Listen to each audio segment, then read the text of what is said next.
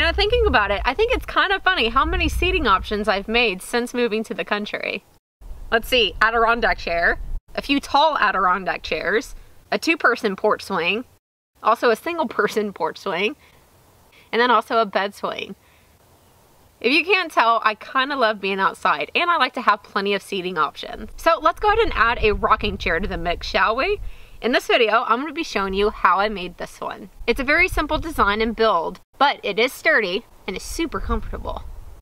Jumping right into it, one rocking chair requires six 1x6s of your choice of material. I picked Western Red Cedar because even though it's a naturally durable material, it is extremely lightweight and allows me to be able to easily move around the completed chair. I had a few leftovers from my picnic table build. Oh yeah, add that to my sitting options list. So Western Red Cedar is what I used. I spent some time in my 3D modeling software designing the chairs so that I could cut out some custom templates, which made this job go a lot smoother.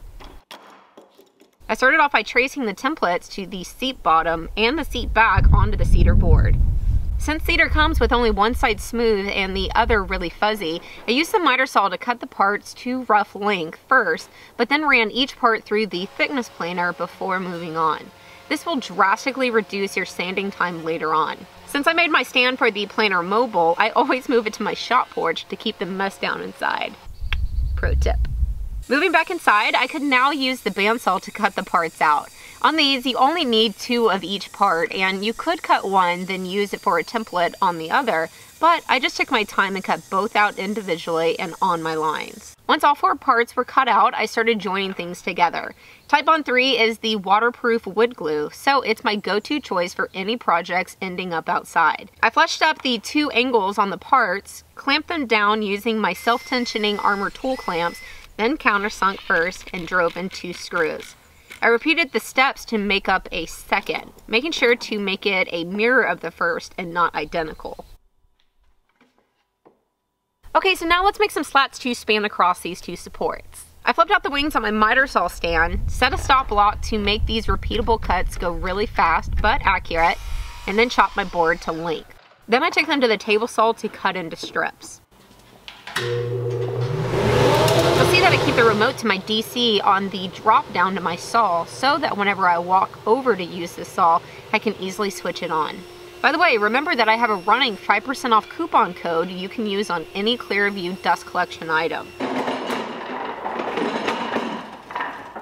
Next was to round over all of the edges for a softer look and also feel.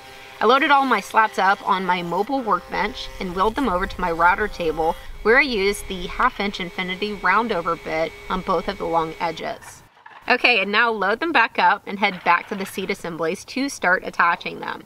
I went ahead and used a small dab of glue on the underside of each slat. It's a small surface area, but with every one having glue at both connection points, it really adds a lot of stiffness to the seat once it's all put together.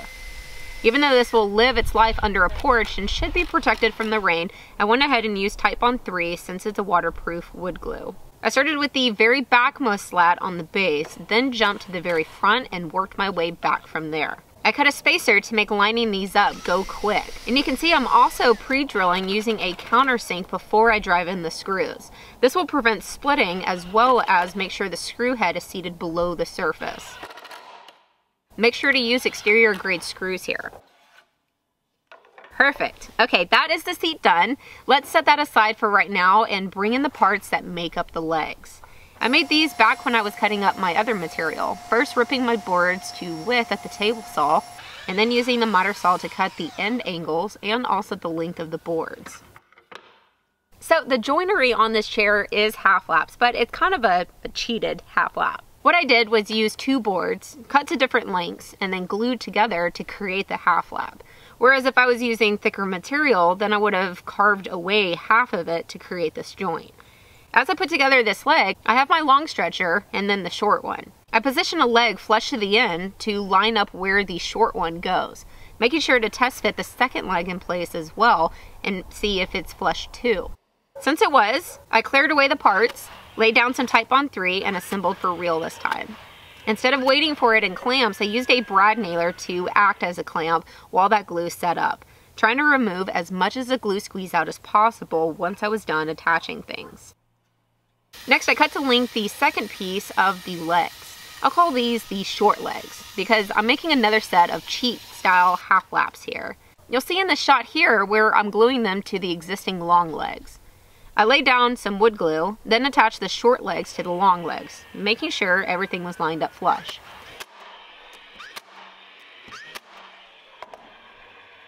Before moving on, let's go ahead and do some cleanup work. If you don't like the brad nail holes, keep in mind you can always use clamps. Or what I do in cases like this is use a dab of Titebond's fast setting wood glue called Thick and Quick. I shove a small amount in the nail hole and then rub some sawdust into it. Now you can hit it with a sander and the holes all but disappear. Then while I was sanding, I gave all of the parts up to this point a good run over, just hitting it with 180 grit right now. Then I took the frame over to the router table and rounded over the edges on both sides with that same half inch bit.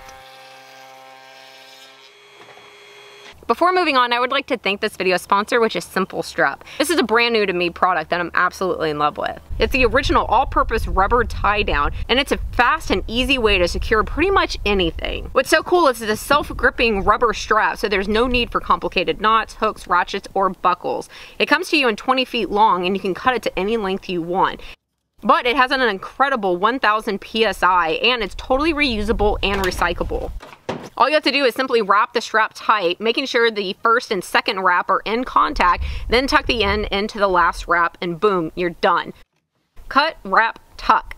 I see the versatility of Simple Strap being enormous. I personally love the rubber surface because it doesn't create any marring on surfaces such as a brand new finished project or something plastic such as whenever I'm hauling my kayak. By the way, these were great even when wet or on a wet surface. If you're interested in this fast and easy tie down solution, then visit the link down in the description to find out more about Simple Strap. Big thank you to Simple Strap for sponsoring this video and making my workflow better. Now let's get back to that project. Okay, so let's talk about the rocker. Whenever I tackled this project, I had no idea how complicated it was. And this bottom rocker is the reason it's difficult. The length, the slope, its relation to the legs of the rocking chair, it all factors into if the rocking chair works, and if so, how well. So what I did was I grabbed a piece of cardboard, then traced a rocker that I knew I liked the feel of, and created myself a template. I used the bandsaw to cut it out, and then traced that onto a cedar board. This part holds a lot of weight, so when you're tracing this, tilt the template as much as you can to get as much straight grain running through the length of this rocker. When I cut this part at the bandsaw, I cut as close to my line as possible, then used my belt sander, turned upside down and clamped to my workbench to smooth it out. It's really important that the bottom curve not have any hitches in it, so take your time. Or you can buy my template and not worry about it. Because once you have a template that's good to go, you can use a flush trim bit to make the remaining three. I'm using what's called the Mega Flush Trim Bit by Infinity, and it can flat get the job done. Remember to turn down the router speed if you're getting into a larger diameter bit.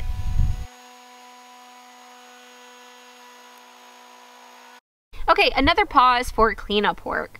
I wanted this rocker to fit into the half laps of the legs seamlessly, which means I needed these short legs to match the curve of the top of the rocker. If you buy the templates, the short leg templates will have this curve for you. But since I was doing this as I went, I would set the part in place, see where the high spots were, and then use my palm belt sander to knock them down. And this is such a good sander because the belt is flush on one side, meaning I could easily get into this 90 degree tight spot with ease. Now, even though things looked good, I wanted to do a dry fit and test it out before I did the joinery in the rockers. So what I did was clamp one rocker to the chair legs, clamp the seat to the legs, and then tested it out.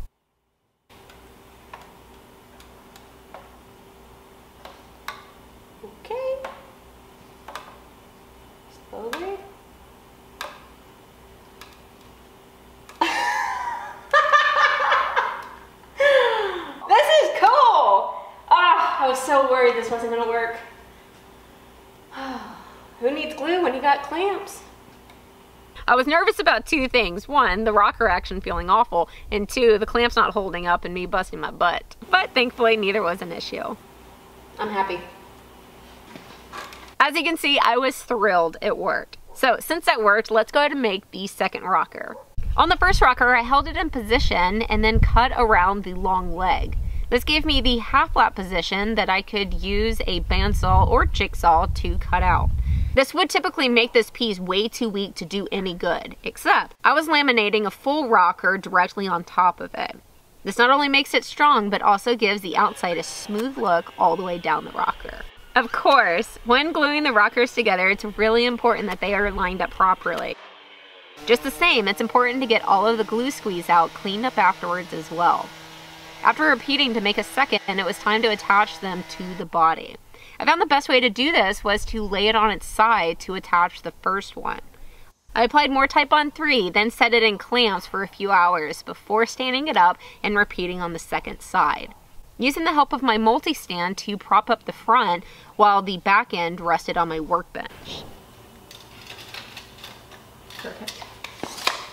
After the glue dried on both sides, I reinforced these connections with some oak dowels. To do this, I grabbed a Forstner bit and drove, I don't know, about halfway through the leg. I placed two dowels at each connection, so four total per side. Now, even though it looks like a rocker, there's still one last component, arms. I wasn't yet sure where the arms would fall on the back when I was making the slats, so I just made them all the same length. To make way for the arms to extend past the slat sew, I used my multi-tool to nip off the ends of the slat. I used my template to trace out on a board, then cut, then rounded over each one of the arms before I positioned it on top of the legs and attached it.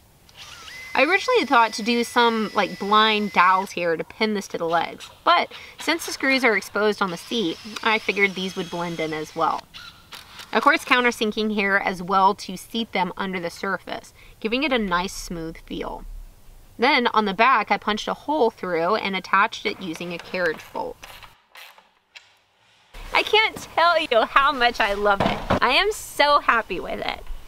I think raw western red cedar is gorgeous, so I'm going to apply a clear coat to keep its beautiful coloring. If you don't know, western red cedar is naturally rot resistant, so if you plan to place your chair in the elements, then it's a good choice of material. If you would like to make your own, I have a set of templates that come with a set of plans available on my website, so check the description if you're interested. I also have templates for a lot of other projects, such as my porch swing, the grow chart ruler, and even my lounge chair.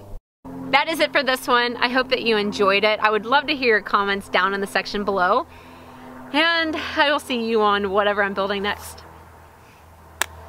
Actually, real quick before you go, just two quick announcements. One is merchandise. I am bringing back my two limited time t-shirts, Stop Cracks in Your Tracks, and also Maker's Gonna Make. These are two designs of mine that I've brought out selectively over the last year, and they're gonna be available for all of November and December. So be sure to pick one up if you're interested before they're no longer available. And then second, I am so excited to announce that Isotunes, who's been my personal hearing protection for the last three years, has come out with a brand new product in their OSHA compliant Bluetooth hearing protection line, and they're calling calling these the Free. They're the same high quality noise isolating earbuds as their other models, but these are 100% wireless. They have a 7 plus hour battery life and the portable charging case gives them two full charges before it needs recharging all of them are OSHA compliant, so anytime I'm in the shop or doing yard work, you can't find me without them. Then since they're noise isolating, anytime I'm traveling and working out, again, I always have them with me. If you're interested in trying the Isotunes free or any of their other models, they have given me a $10 off coupon code to give to you.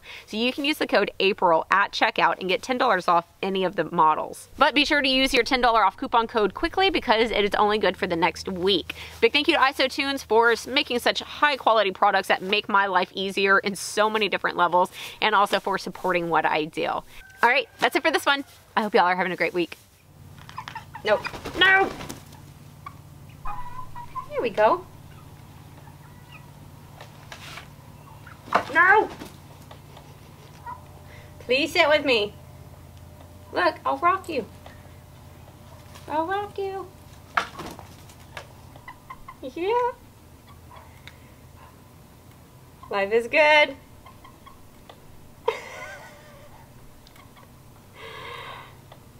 Think she's totally sitting in my rocking chair.